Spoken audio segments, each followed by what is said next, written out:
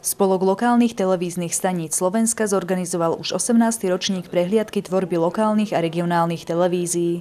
Miestom vyhlásenia výsledkov bol v sobotu 10. decembra Dom kultúry v Handlovej.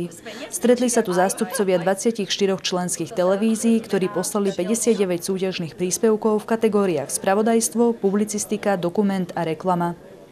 Workshop 2016 podporil a súťažné príspevky hodnotili zástupcovia Literárneho fondu a autorom úspešných príspevkov odovzdali 11 cien.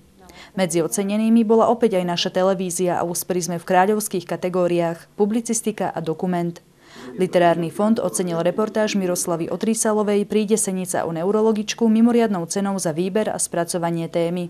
Literárny fond, sekcia žurnalistiky a novinárskej fotografie a naša porota ocenila váš príspevok z jednoduchého dôvodu že vlastne ide o autorský príspevok, ktorý ste si vybrali a zrealizovali a išlo o tému, ktorá je veľmi ako citlivá a je občianská, pretože vášho diváka, čiže občana zaujíma, čo sa tam ako v tej nemocnici alebo v tom meste Senica deje. Malo by to byť také prirodzené, že novinár prostredníctvom média, to je jedno či lokálneho alebo regionálneho, e, je akýmsi tribúnom toho ľudu, že ho zastupuje a mu prináša informácie dennodenne.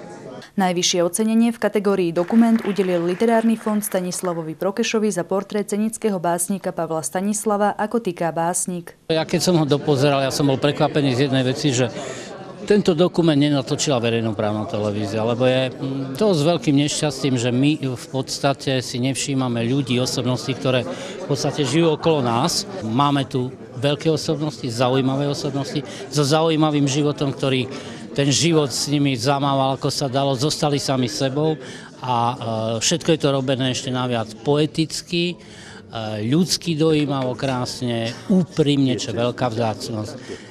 No ja som bol veľmi spokojný, lebo mne takéto filmy strašne chýbajú.